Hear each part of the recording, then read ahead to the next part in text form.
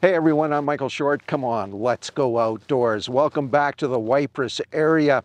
You know, uh, this creek has a problem.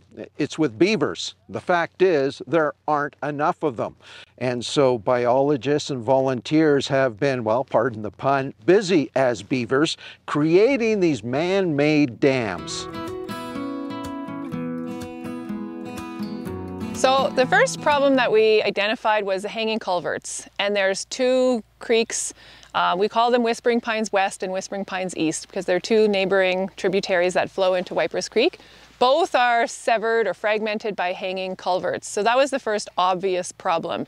Then we looked upstream. We thought if we're going to continue or look towards reconnecting these creeks, allowing fish passes upstream, what is the habitat like upstream? So we kind of took a look, we walked around, we surveyed the situation, and we saw a fair amount of degradation here.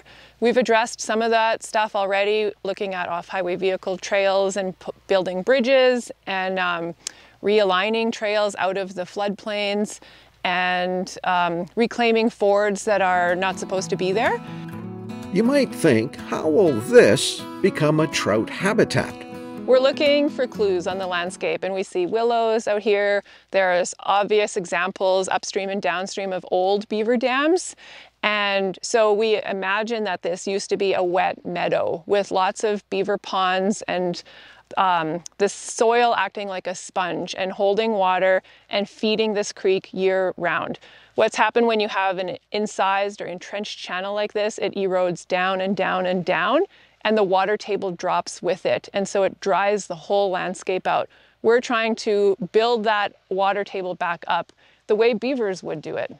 We're reconnecting water to the landscape and to the creek. Um, we're reconnecting the fish from Waiparous Creek up into the system um, yeah, it's, it's, definitely a reconnection. And I mean, ultimately, we're connecting people with this landscape too. We have had volunteers out every day this week. They're all learning and connecting, and uh, ha they have a stake in what's happening here.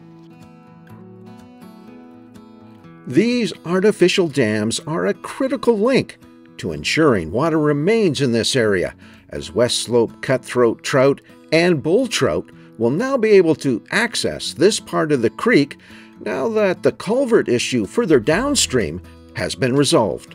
Now that the beaver dams are completed, the next challenge the team has as they continue their work as busy beavers is to create a defined stream flow. Okay.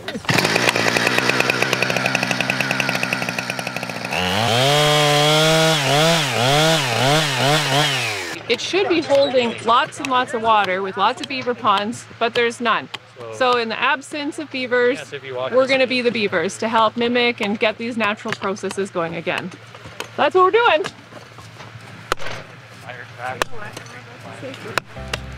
Now, recreating a stream path is undoubtedly not straightforward. In this case, straight lines are to be avoided. It was like here, yeah. like this, yeah. and Joel had us taking it back oh. a bit. So one of the other major problems we have this really, we call it an incised channel. So it's like a deep ditch, essentially. It's like a bowling alley. And a creek shouldn't look like a bowling alley. It should look like a pinball machine with the water bouncing from side to side and hitting things along the way, obstacles. So this creek has zero complexity, no structure, and what we're doing is adding wood and structure and complexity to create a little chaos in the system.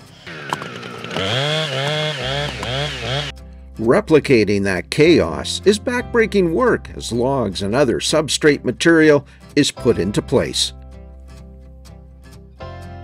Physically demanding, but got to be kind of satisfying, yeah? Oh, definitely. Especially when you come back and see the work like the following year.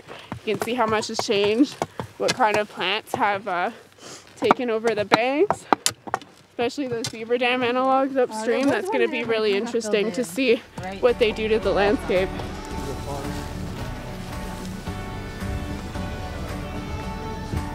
It's been said that good things are worth waiting for. Case in point, all the effort that a lot of people have put in and an awful lot of time. It'll be next spring before the results will hopefully pay off. Till next time, I'm Michael Short. Come on, let's go outdoors.